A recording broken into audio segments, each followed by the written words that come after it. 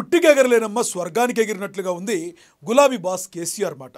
లోక్సభ ఎన్నికల్లో ఒకటి రెండు స్థానాలకు మించి గెలిచే అవకాశం లేదని ఆ మాటకు వస్తే ఆ మాత్రం సీట్లు కూడా వచ్చే వీల్లేదన్న మాట రాజకీయ వర్గాల్లో వినిపిస్తుంది.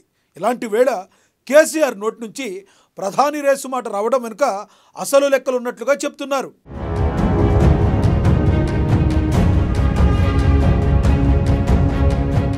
ఉద్యమ సారథిగా కేసీఆర్కు గుర్తింపు.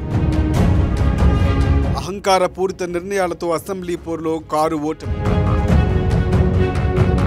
పదవి పోయాక మారిన కేసీఆర్ స్వరం. ప్రధాని మోదీతో పోల్చుకుంటున్న కేసీఆర్. లోక్సభ ఎన్నికల్లో పరువు కోసం కారు పోరాటం. దేశ రాజకీయాల్లో చక్రం తిప్పుతానని ప్రసంగం. కేసీఆర్ ప్రధాని అవుతారనే మాటలపై పేలుతున్న సెటైర్.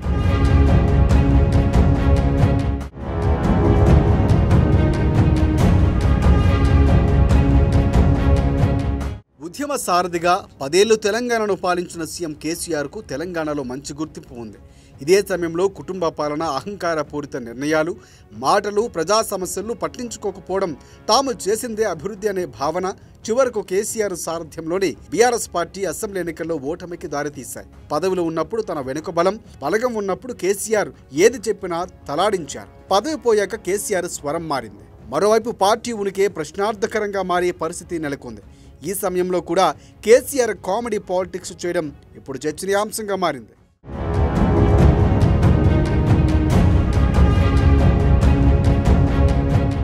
నరేంద్ర మోదీతో పోల్చుకొని దేశ రాజకీయాల్లో చక్రం తిప్పాలనుకుంటున్నారు కేసీఆర్. గుజరాత్కు మూడుసార్లు ముఖ్యమంత్రి అయిన మోదీ తర్వాత దేశానికి ప్రధాని అయ్యారు. రెండు పర్యాయాలు సమర్థవంతంగా పనిచేశారు. ఆయనలాగానే తెలంగాణ మోడల్తో దేశ రాజకీయాల్లోకి రావాలని భావించారు కేసీఆర్. ప్రధాని పదవిపై ఆశలు పెట్టుకున్నారు. ఈ మేరకు టీఆర్ఎస్ను బీఆర్ఎస్గా మార్చారు. పొత్తుల కోసం ప్రాంతీయ పార్టీల చుట్టూ తిరిగారు. కానీ కేసీఆర్ను ఎవరూ నమ్మలేదు. దీంతో సొంతంగా రాజకీయాలు చేస్తారని బీఆర్ఎస్ పార్టీ విస్తరణ చేపట్టారు. మహారాష్ట్ర ఆంధ్రప్రదేశ్ ఒడిశా మధ్యప్రదేశ్లోని నేతలకు డబ్బులు ఇచ్చి బీఆర్ఎస్లోకి చేర్చుకున్నారు.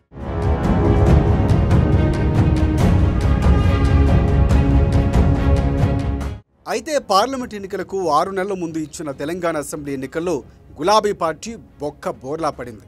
తెలంగాణ ప్రజలు ఓటుతో కుట్టిన దెబ్బకు కారు షెడ్డుకు పోయింది. ఈ క్రమంలో పార్టీలో ఇన్నాళ్ళు పదవులు అనుభవించిన నేతలు బీఆర్ఎస్ పార్టీని వీడుతున్నారు. ఇప్పటికే చాలామంది అధికార కాంగ్రెస్ పార్టీలోకి చేరిపోయారు. దీంతో పార్టీ ఉనికే ఇప్పుడు ప్రశ్నార్థకరంగా మారింది. ఈ తరుణంలో వచ్చిన లోక్సభ ఎన్నికల్లో పరువు కోసం పాకులాడుతున్నారు గులాబీ లీడర్.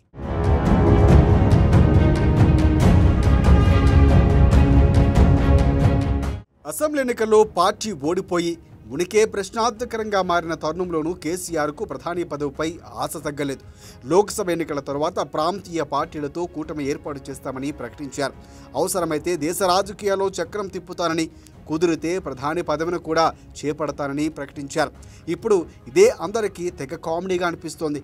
లోక్సభ ఎన్నికల్లో ఎన్ని సీట్లు గెలుస్తారో చెప్పలేని స్థితిలో ఉన్న గులాబీ బాస్ ఎన్నికల తర్వాత మాత్రం జాతీయ రాజకీయాల్లోకి చక్రం తిప్పుతానని అనటం ప్రధాని అవుతారని వ్యాఖ్యానించడం చూసి అందరూ నవ్వుకుంటున్నారు.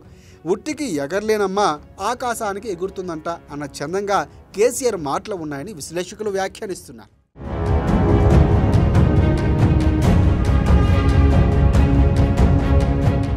కేసీఆర్ కేటీఆర్పై తెలంగాణ ప్రజలకు ఉన్న కోపం ఇంకా తగ్గలేదు. ఓడిపోయిన అహంకారపూరిత మాటలు మాట్లాడటం మానలేదు. దీంతో కేసీఆర్ను ఇంకా గట్టి దెబ్బ కొట్టాలన్న భావనలో తెలంగాణ ప్రజలు ఉన్నారట. ఈ తరుణంలోనే పార్టీని కాపాడుకోవాల్సింది పోయి ప్రధాని అవుతాను చక్రం తిప్పుతాను అని అనటం ద్వారా కేసీఆర్ తన స్థాయిని మరింత దిగజారుచుకుంటున్నారని విశ్లేషకులు అభిప్రాయపడుతున్నారు. కేసీఆర్ తెలంగాణలో కారు స్టీరింగే తిప్పలేను జాతీయ రాజకీయాలు ఏం చక్రం తిప్పుతారని ప్రశ్నిస్తున్నారు ప్రజలు.